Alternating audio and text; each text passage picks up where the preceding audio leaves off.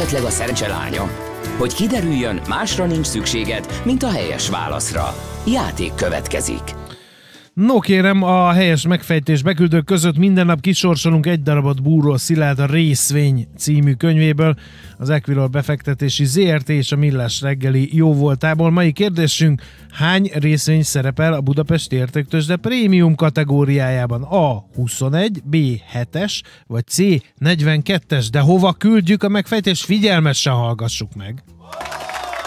A helyes megfejtéseket ma délután 16 óráig várjuk a játékkukac jazzy.hu e-mail címre. Kedvezzem ma neked a szerencse! Szívesen böngésznél a nemzetközi és hazai piacokon? Meglovagolnád a hullámokat? Akkor neked való a Hotspot piaci körkép az Erste befektetési ZRT szakértőivel. Gyors jelentések, gazdasági mutatók, események. Nálunk mindent megtalálsz szakértőink tolmácsolásában. Ha azonnali és releváns információra van szükséged, csatlakozz piaci hotspotunkhoz. Jelszó Profit nagy P-vel. Barát Tibor, Igen. vezető üzletkötő van a vonalban. Szerbusz, jó reggelt, mit osztál ma nekünk? Jó reggelt kívánok! Kis befektetőknek, szórjad szét a mannát nekünk. Na hát ugye először is ilyen történelmi pillanatokat élünk meg. Ö, Eltűnt a Daimler a, DAX komponensek közül, illetve a kereskedés közül. Hova? Körül.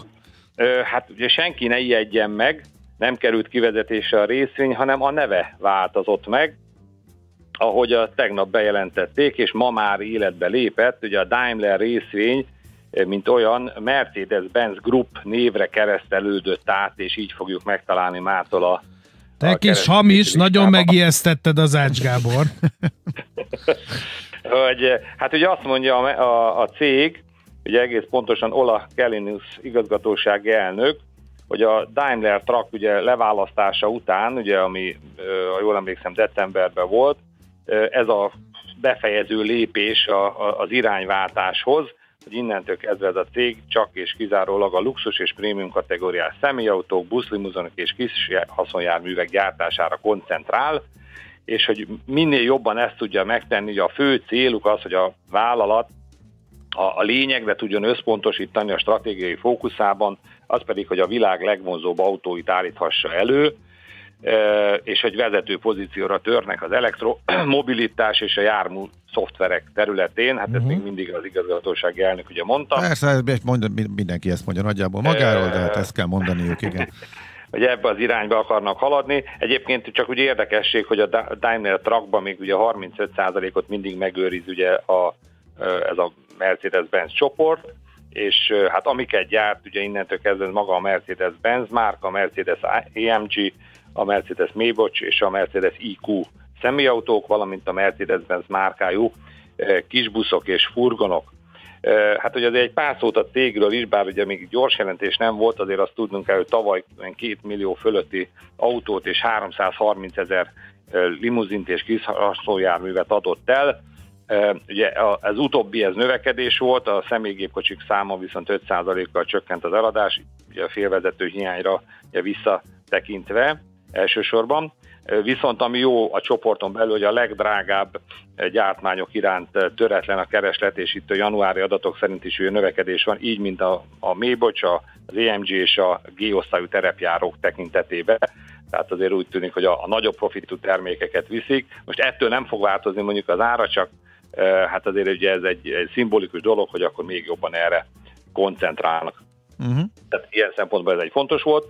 Viszont Európában is hát ugye azért elindult a gyors jelentés szezon, és hát kihozta a TeamViewer nevű Na. cég, akiről már szerintem legutoljára is beszélgettünk, hogy ez ugye elég nagy veszőfutáson át- ment át a tavalyi év során, ilyen 40-45 euróról egészen 10 euróig ugye csökkent az ár, több profit warning lépés után, és aztán hát ugye sokan várták, hogy na mikor jön el a fordulat, hát szerintem ez a mostani eredmény, ez már ugye ebbe az irányba mutat. Ugye az első legfontosabb, még mielőtt az eredményről beszélünk, hogy bejelentettek egy saját részvény visszaválásási programot, azt mondják, vagy a 300 millió euró, vagy pedig a 20 millió részvény visszavásárlása, ami egy jó 10 százalék. Egyébként csak úgy összehasonlításként két és fél millió darab ugye a napi forgalma, és ugye ez már holnaptól indulhatna év végéig, és ezeknek a nagy részét be is vonják, tehát ugye ez közvetlen érték növelő, tehát az egy részvényre jutó vagyon, meg profit ugye ezzel arányosan ugye nő, és hát ahogy a CEO Oliver Steil úr fogalmazott, ugye pénzügyileg elég erősek ahhoz, illetve a likviditásuk elég nagy, illetve pénzügyi elég erősek ahhoz, hogy ez megteremtette annak a lehetőségét, hogy egy közvetlen hasznot hajtsanak a befektetőknek ezzel a részvény visszavásárlással. Ugye azt mondja, hogy áttekintették a tőke allokációs stratégiát, és hogy az, az bőven belefér, hogy a, az eladósodottsági mértékük az az ebitának egy olyan másfélszeresére változzon, és hát ez még elég, tehát ugye ez, emiatt tudják megtenni a saját részén visszavásárlást, illetőleg hát ez még elég biz, rugalmasságot biztosít arra, hogy a, a jövőben a, a befektetéseik területére is.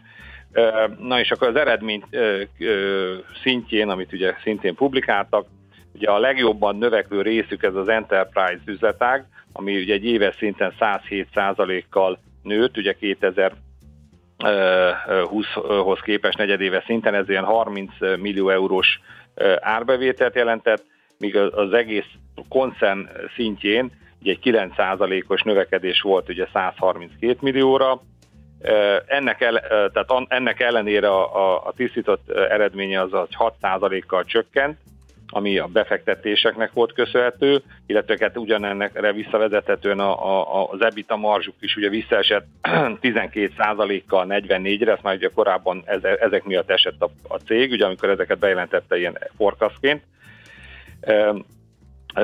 A, a, a vállalati eredmény, az összeredmény viszont éppen, hogy csak alulmúlta a tavait, tehát a 28,94-ről most 28,44 millió euró lett Viszont ami ugye fontos, ugye a cég, és ez ilyen cégeknél ugye ezt tartják igazából a fontosnak, hogy milyen megrendelés állománya, tehát ilyen, ezt ilyen billingsnek hívják ők, ugye a jövőre tekintve. A negyedik negyedévben ez 20%-kal nőtt, 153 millió euróval 548 millióra, és hát a, a kit, kilátások talán, ami még fontosabb, hogy, hogy mit, mit ítélnek meg a jövőt illetően, hogy ebbe az évbe ezek a billingseknek, ugye az előretekintő megrendeléseknek a, a, az értéke, ez egy magas tíz, tízes értékű növekedést fog mutatni, tehát már mint egy 10%-os kategóriában ül, tehát ez a 18-19% lehet, 630-650 millió euróra, míg a, a zárbevétel az meg egy ilyen közepes 10%-os növekedést várható növekedésbe, az 50, 560-580 millió euróra, és ami talán itt a legfontosabb, hogy a, megfordul majd az EBITDA-nak a csökkenése, ugye tavaly ez 44% volt, a 12%-os csökkenés, tehát az idén ezt már 45-47%-ra becslik, úgyhogy azt gondolom, hogy a tegnap ilyen 13-35-ös árhoz képest itt lesz egy jelentősebb rally a papírba. És hát, hát ami igen, az ideje is lenne, ideje is lenne, mert a Covid előtt nem sokkal jött tőzsdére, 26, pont a dupláján, tehát a jelenlegi árfolyam dupláján jött a tőzsdére, ez volt a kibocsátási ár, és az első Covid időszakban egy nagy emelkedés volt, és de 50 dollárról szakadt le most 13-ig. Tehát most a mélypontokról beszélünk, hogy innen indulunk, tehát akkor azt mondod, hogy innentől most elrugaszkodhat, tehát végre indult hát, fölfele? Tehát egész pontosan ilyen 11 alatt volt ennek az alja, uh-huh. és akkor volt két próbák várakozása már fölfele, mind a kettőször ilyen 15-ig jött egyébként föl az ár. Ugye itt a technikai képek alapján a 15 fölött tud ragadni, az lenne egy ilyen Aha. szimbolikus érték, hogy akkor, akkor viszont aztán tényleg jöhet uh-huh. vissza a, követ, a következő szintekhez. Egyébként értékeltség alapján, hát most már így, hogy ugye az ár ide beszakadt, ilyen 21, 20, hát 20-21-es péperevel forog, ami egy technológiai cégnél kimondottan alacsony. Uh-huh. Igen, tehát kicsit tudna javítani a profitabilitásán, vagy a növekedési kilátásain, akkor, akkor lesz igazi érdekes. Hát azt lehet, gondolom, hogy igen, ez a, ez, a, ez a mostani már, tehát hogy már ugye mind a zárbevétel szintjén, mind a profitabilitás szintjén ugye az előrejelzésből javulást prognosztizál magának, uh-huh ehhez ez... ez az értékeltség már alacsony. Aha, világos. Oké, okay, köszönjük, hogy fölhívtad a figyelmünket rá. Szép napot, jó munkát, Tibor. Szia, Köszönöm szia. szépen, sziasztok!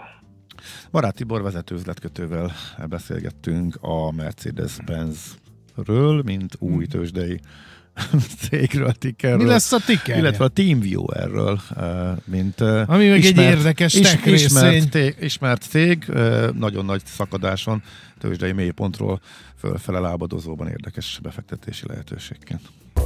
Hotspot piaci körkép hangzott el az Erste befektetési ZRT szakértőivel. Ha azonnali és releváns információra van szükséged, csatlakozz piaci hotspotunkhoz. Jelszó Profit nagy P-vel. Taríbolya hírei jönnek, aztán dolgozzunk tovább. E, nagyon elmentünk abba az irányba, drága barátaim, hogy a megújuló energiák kapcsán állandóan arról beszélünk, hogy ja persze a naperőművek meg a szél közben, azért van ám még megújuló energia, például a biomassa. Erről beszélgetünk, hogy ez mi, meg jó ötlete biomassa erőműveket működtetni, vagy nem jó. Botár Alexa, Magyar Természetvédők Szövetségének éghajlat és energia csoportvezetője lesz a vendégünk. Műsorunkban termék megjelenítést hallhattak. iFater, a